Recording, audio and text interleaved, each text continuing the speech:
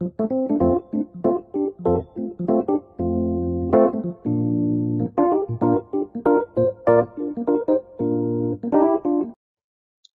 everyone, this is Ramalinga Prasad Kuppa.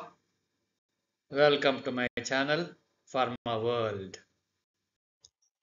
Today's topic is handling of complaint files in pharmaceutical manufacturing. The intent of pharmaceutical manufacturing is definitely to produce a good product that meets the requirements always. But in case of any complaints, how it should be handled is important. In today's video, let us see the basic regulatory requirements from various guidelines. 21 CFR Part 211.198 Written procedures describing the handling of all written and oral complaints regarding a drug product shall be established and followed. Let us start with the 21 CFR guidelines. As a basic GMP requirement, it is necessary to have a detailed written procedure for handling any complaints from the market on the quality of the product. Some customers may not communicate through a written complaint note. It may be informed verbally over the phone. So, for any complaints, oral or written, should be logged in. Such procedures shall include provisions for review by the quality control unit of any complaint involving possible failure of a drug product to meet any of its specifications and for such drug products a determination as to the need for an investigation in accordance with section 211.192. There should be a provision in the procedure to involve quality units. Here it should be understood that QA or QC or both will review the complaint received. Investigation as per 211.192 includes review of any unexpected discrepancy or failure of the batch or any of its components. Such procedures shall include provisions for review to determine whether the complaint represents a serious and unexpected adverse drug experience which is required to be reported to the Food and Drug Administration in accordance with sections 310.305 and 511.80 of this chapter. Section 310.305 prescribes that any of the marketed prescription drug product manufacturer must report to FDA each adverse drug experience received as soon as possible, but no later than 15 calendar days. The details of reporting requirements are discussed in the sections adequately. Section 514.80 is for veterinary drugs reporting requirements. The written record of each complaint shall be maintained in a file designated for drug product complaints. Anything not recorded is considered as not done as per basic GMP. The file regarding such drug product complaint shall be maintained at the establishment where the drug product involved was manufactured, processed or packed or such file may be maintained at another facility if the written records in such files are readily available for inspection at the other facility. Since the marketing department is mostly stationed at head office and not at the manufacturing site, many companies have the complaint files with them in the corporate office.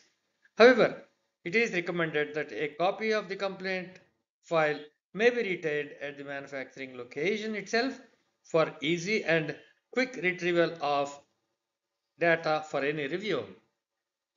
Written records involving a drug product shall be maintained until at least one year after the expiration date of the drug product or one year after the date that the complaint was received, whichever is longer. In the case of certain OTC drug products lacking expiration dating because they meet the criteria for exemption under section 211.137, such written records shall be maintained for three years after the distribution of the drug product. This is the requirement. Expiry plus one year or one year after receiving the complaint for archiving the complaint files. For OTC drugs, it is three years after the distribution of the product. The written record shall include the following information where known the name and strength of the drug product, lot number, name of the complainant, nature of the complaint and reply to the complainant. This information is necessary to track the complaint. Replying to the customer may not happen immediately. Depending upon the seriousness of the complaint and the time taken for investigation and CAPA, the final report may take longer but it is necessary to respond within 24 hours that the complaint is acknowledged and show the manufacturer commitment and seriousness on the complaint to resolve. This will make the customer comfortable on the commitment of the manufacturer. Where an investigation under section 211.192 is conducted, the written record shall include the findings of the investigation and follow-up. The record or copy of the record of the investigation shall be maintained at the establishment where the investigation occurred in accordance with section 211.180c. As discussed in the second bullet of the previous slide, a copy of the detailed investigation report may be archived at the site where the product was manufactured. Section 211.180C also prescribes the same requirement. Where an investigation under Section 211.192 is not conducted, the written record shall include the reason that an investigation was found to be not necessary and the name of the responsible person making such a determination. If the product is returned for other reason than the quality issue and the preliminary investigation, it was found that there was no adverse impact on the quality of the product. The labels, seals are intact, returned under proper recommended storage conditions. Detailed investigation may not be required. But all this detailed information and the person responsible for taking such decision should be recorded. Let us see the prescription of ICH Q7. 1510 says all quality related complaints whether received orally or in writing should be recorded and investigated according to a written procedure. So section 15.10 of ICH Q7 also prescribes the same basic requirement. 15.11 says complaint record should include name and address of the complainant, name and where appropriate title, and phone number of the person submitting the complaint, complaint nature including the name and the batch number of API, date complaint is received, action initially taken, including dates and identity of the person taking the action, any follow-up action taken, response provided to the originator of the complaint, including the date, response sent, and final decision on intermediate or API batch or lot. Information in this section is similar to the section 21 CFR part 211 0.198. Action initially taken should include an immediate response to the customer to show the seriousness of the manufacturer's commitment to resolve the complaint. In the initial response, it may be committed on timelines that would take for investigation and necessary CAPA. The information on the appropriate persons who are handling the complaint and who is going to give the response are also important to be communicated to the customer. Section 15.12 says records of complaints should be retained in order to evaluate trends, product related frequencies and severity with a view to taking additional and if appropriate immediate corrective action. This section has additional requirements to trend the market complaints in annual product reviews for any potential improvements in the market complaint handling system and procedures. 15.13 There should be a written procedure that defines the circumstances under which a recall of an intermediate or API should be considered. Section 15.13 has a special clause on recalls. This is an implied requirement in 21 CFR guidelines. 15.14 says the recall procedure should designate who should be involved in evaluating the information, how a recall should be initiated, who should be informed about the recall, and how the recalled material should be treated. This section is important. The recall procedure is not really a product recall activity. It is to establish that how fast the recall could be executed from the farthest customer. So a mock drill should be executed. That involves a fabricated product recall.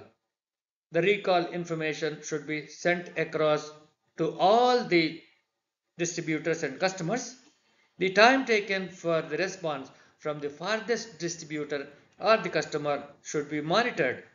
Obviously, if the recall information reaches the farthest customer, the product can be withheld immediately for further action to send back to the manufacturer. I hope that this point is understood well. 15.15 says in the event of a serious potential potentially life threatening situation local national and or international authorities should be informed and their advice sought the prescription in the section 15.15 is same as in sections 310.305 and 514.80 of 21 CFR sections.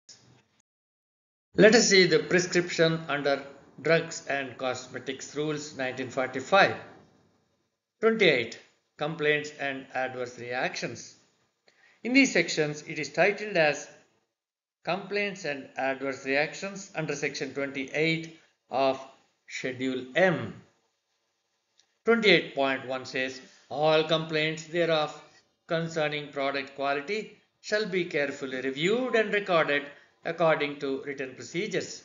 Each complaint shall be investigated, evaluated by the designated personnel of the company and records of the investigation and remedial action taken thereof shall be maintained.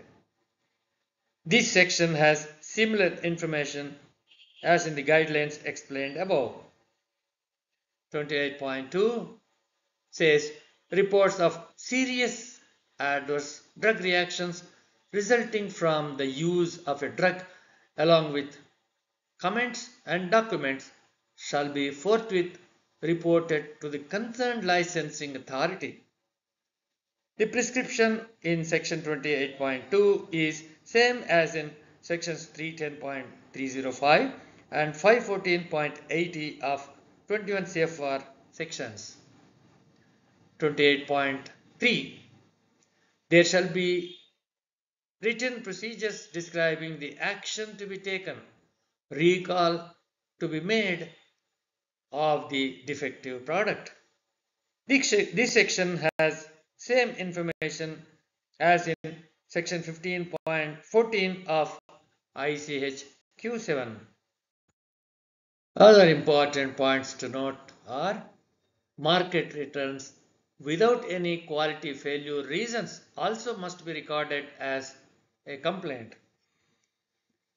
In certain circumstances where the customer has changed the production plan and does not need the product at that point of time, the customer may want to return the product.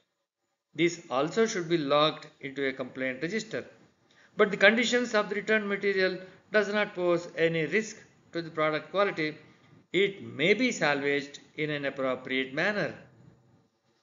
Technically, it may not be considered as a complaint.